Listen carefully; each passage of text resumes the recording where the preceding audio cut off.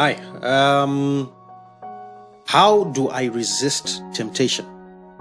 You know, all of us, we have those uh, habits that we find difficult to resist. We, we have struggles that we have, uh, certain secret temptations that we have, uh, which we almost find difficult to overcome. So the question is, how do I overcome or resist these kinds of temptations? Well, the first thing is I must know and obey the word of God.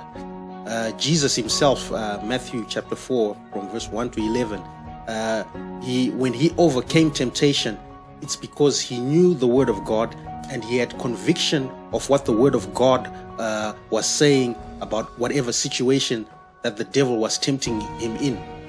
Uh, Psalms chapter uh, 119, verse 11, it says, Your word is hidden in my heart that I may not sin against you. So we need to know the word of God, we need to obey the word of God, and we need to hide it in our heart that we may not sin against God. Uh, number two, you must avoid and run. Um, I think of, for example, Joseph uh, in chapter in Genesis chapter 39, uh, when he faced uh, Potiphar's wife, and uh, Potiphar's wife was tempting him. Uh, Joseph basically, in that uh, situation ran away from Potiphar's wife.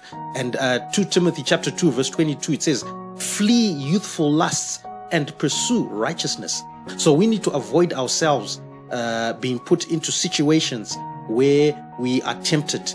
Uh, we need to avoid those situations. We need to avoid environments where we are likely to be tempted. We need to flee and run and pursue righteousness.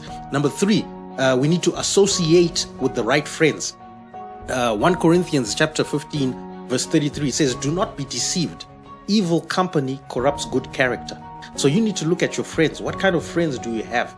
Do they uh, encourage you uh, uh, in the right things or do they tempt you in the wrong things? So uh, the right friends, having associating with the right friends is very important.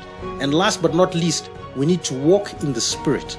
Um, even Jesus Christ himself, when he was tempted, the Bible says that he was led by the Holy Spirit.